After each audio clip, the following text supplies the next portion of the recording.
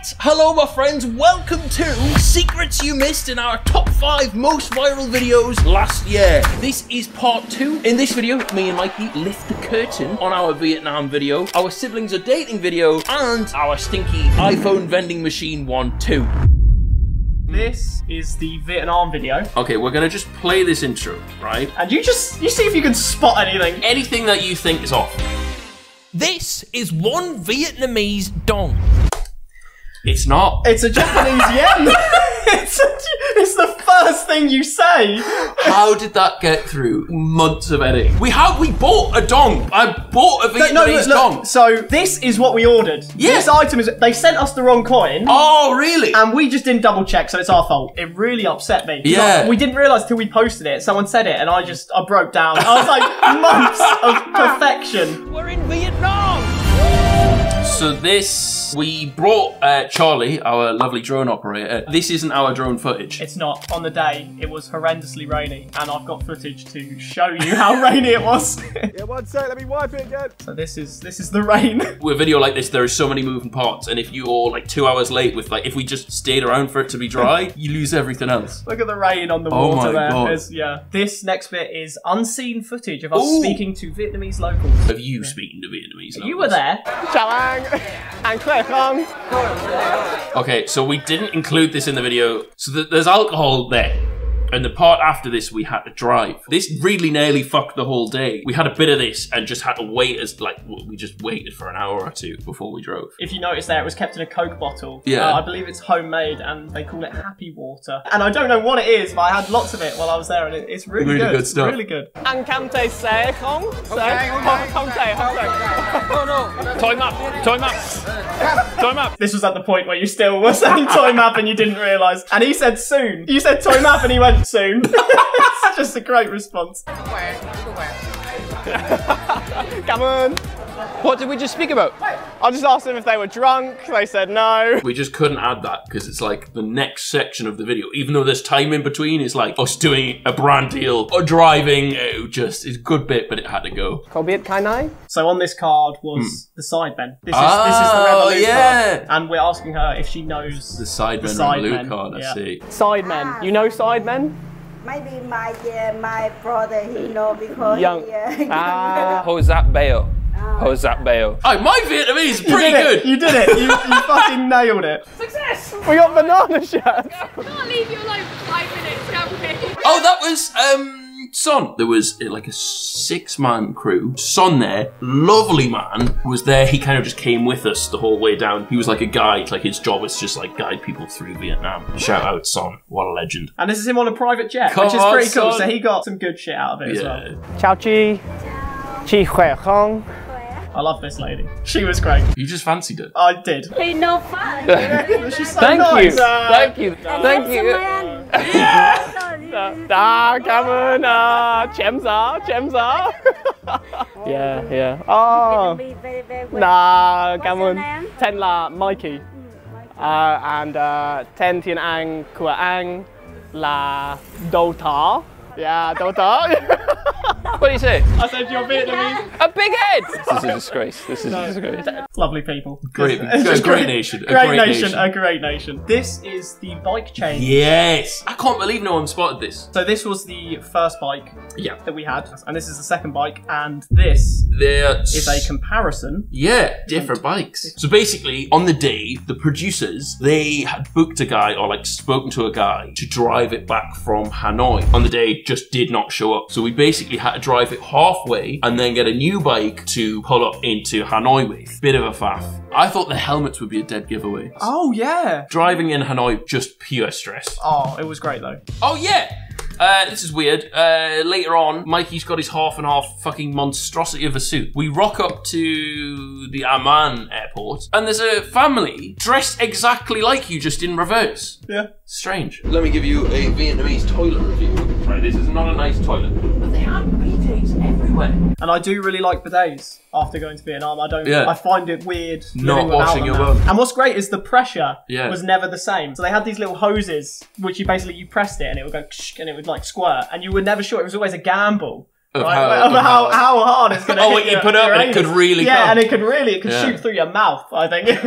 it was fantastic. Now, this point, we realised we just did the Top Gear Vietnam special just in reverse. Or in the town of Hoi An, Vietnam's Savile Row.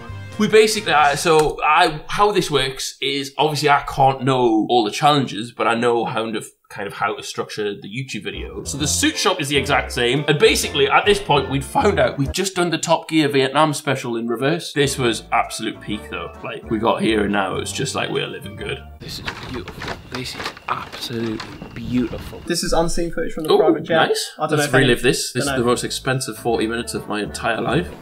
There's so many cabinets. Do they do the uh, air flight safety announcement on these or do we not bother? What happens if we crash? What are we gonna do? Mikey, oh, sorry. sorry. Oh yeah, all uh, producer all uh, very not fond of small shaky planes was worried about the private jet. Literally, we like got mopeds into fucking Hanoi and whatever. What she was worried about was the private The jet. private jet. So a week before the Vietnam video, Yeah. I went to Vietnam to practice my Vietnamese. You were sent on a mission for the video. You go pra- practice your Vietnamese Yep. and film it. He didn't fucking film it. It was supposed to be after you said, "Oh, I can speak Vietnamese." we can't speak Vietnamese. I can. No, you can't. Vâng. Em có thể. We'd have a great bit showing people straight away of you speaking Vietnamese. He just went there on his jollies and, and had a great time. It, it felt really rude though to like stick a camera in someone's face. Yeah. Like to when you're trying to speak to like a local, I feel I feel mean. Yeah, but we pre-agreed. Let's film this. But I did get on Vietnamese TikTok. Anh sống ở đây bao lâu rồi? hai ngày, ngày, Hai ngày. hai ngày, two days, two days. Hai, hai ngày. Became one of his most popular videos. This. Chút, một So you just walked into the barbers and were like, can I have a, have a trim? Yeah, well, I said, uh, I said, Emun cut talk. Which means I want a haircut. I refuse to go to a different barber in London. Never mind, I just let me just rock up to Vietnam. Especially looking at his fucking trim. Oh, hell no, man. He's called Ducky. He was a legend, that guy. What a boy. Coca-Cola smell. Ah, Tom Tay, Tom Tay, Tom Tay. That means smells good, right? You remember that from the Yeah, restaurant? yeah. Well done. That restaurant guy was a fucking legend. he was wasn't really cool was as well. sick. Yeah, he was cool. Do you know what was great? I walked in, and obviously I spoke to him in a bit of Vietnamese, obviously broken Vietnamese. And then another white guy walked in, and they charged him double. Really? what my haircut Really? was. I didn't ask for a discount. Yeah. but just Just 'cause you out of yeah, pure yeah, respect, it was it was so nice. Kevin De Bruyne. yeah, this is uh one of the comments. Wait, on does the this TikTok. say if you get Kevin De Bruyne from eBay? Yeah, it says Kevin De Bruyne eBay version.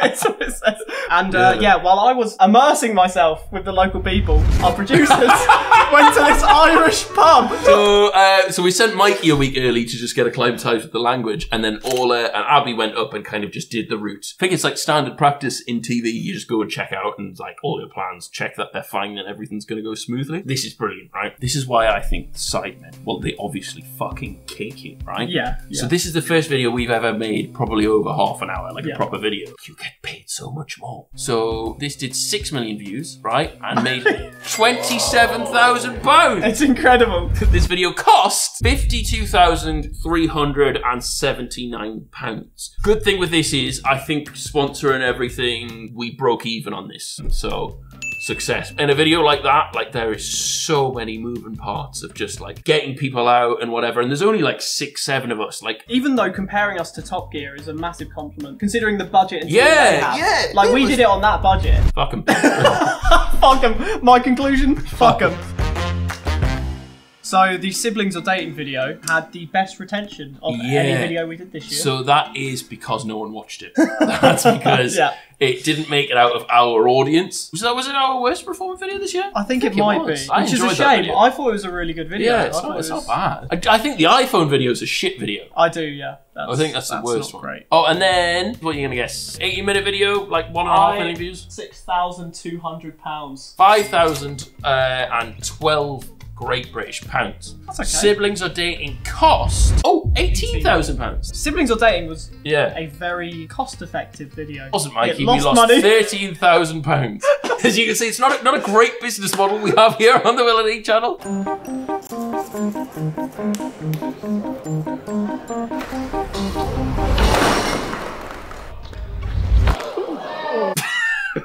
Oh god. Oh god, it's so bad. But we asked their permission Yeah. before we posted that. We, we contacted them and we said, "Is it okay if we post this?" And they said yes, so that's why we posted it. Now, our first contestant for this game was called Daniel. Daniel got quite injured. Basically, we got four blocks of ice and we froze iPhones inside all of. And we gave people, like, they could pick a number between one and four, and whatever number they picked kind of uh, corresponded to a tool they could use to break the ice. Daniel obviously didn't know these numbers beforehand and picked two, right? You've been given a bottle opener to smash ice. You go, let me grip these handle bits here, right? Let me grip these handle bits and whack that into it here. Daniel pulled those down and grabbed the, like, spirally stuff you used to dig into a cork. And did, did he pass out? He, So he's, he, he basically like mashed his hand up a bit. He really didn't care about the phone either. did he? Take actually, let's see. Yeah, it's a good phone. I'm getting to the point now.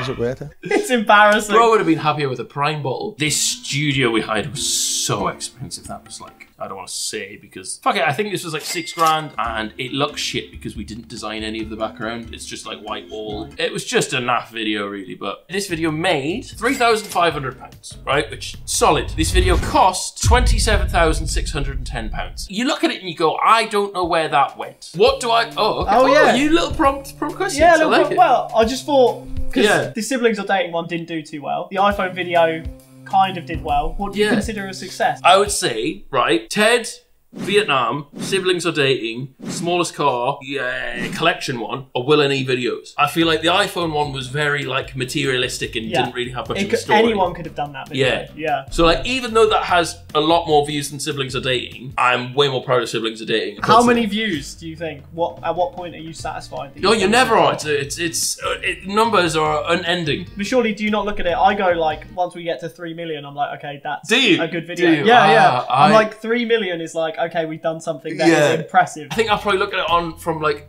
a- another way more negatively. I go, fuck me, we've just spent three months on this. I hope it just gets somewhere decent. I'll be honest, I don't really care about a set number of views. It's the fucking one out of ten stuff. You can be feeling totally fine. I'm like, oh, it's got 600k first day, uh, which that's a ridiculous number of stuff. You can watch that and be like, solid, and then you see nine out of ten. And you're like, I just want to cry. And I also hate when you get a 1 out of 10, they set the fucking Confetti cannons off. they set confetti cannons off, yeah. It feels great. It's like, it's an amazing drug. But you just know there will be a time where I post a video and I'll not get that fucking confetti and I will be sad. Yeah.